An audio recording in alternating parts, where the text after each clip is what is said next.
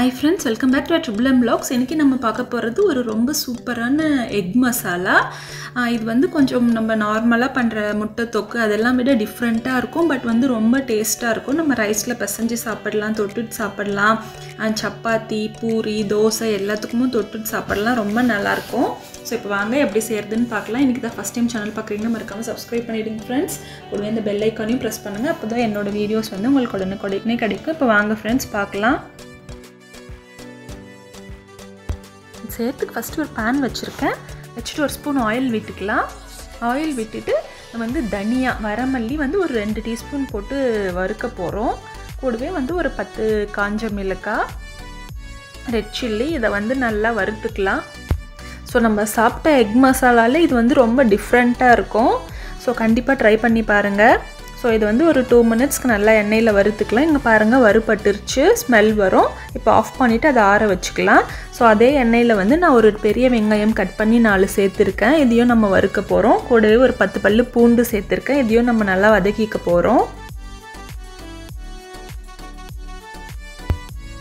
So இது கூடவே வந்து நான் லைட்டாக புளி சேர்த்துக்கிறேன்.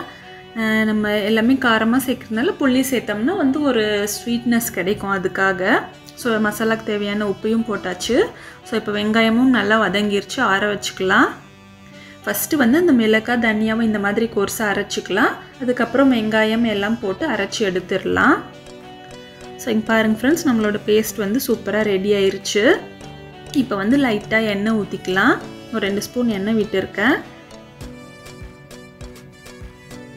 எண்ணெய் விட்டு கடுகு சீரகம் உளுந்து போட்டு கொஞ்சமாக தாளிச்சுக்கலாம். கூடவே கொஞ்சம் கருவேப்பிலை சேர்த்துக்கலாம்.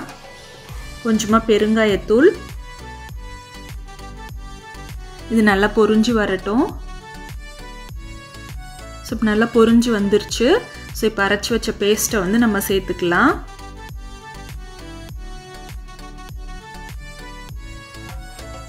இதுக்கு வந்து தண்ணியெலாம் நம்ம எதுவுமே சேர்க்கக்கூடாது. ஸோ இந்த பேஸ்ட் வந்து இந்த மாதிரி திக்காக இருந்தால் தான் அப்படியே எக் கூட சேர்ந்து பிளெண்ட் ஆகும்போது ரொம்ப சூப்பராக இருக்கும். ஸோ இந்த எக்கு வந்து நம்ம அப்படியே சாண்ட்விச்சில் வச்சு சாப்பிடலாம். இல்லை வந்து சப்பாத்தி பூரி ஸ்டஃபிங் மாதிரி கூட உள்ளே வச்சு ரோல் பண்ணி சாப்பிடலாம்.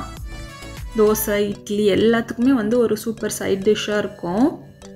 ஸோ இப்போ வந்து நம்ம வேக வச்ச முட்டையை வந்து ரெண்டாக கட் பண்ணி சேர்த்துக்கலாம்.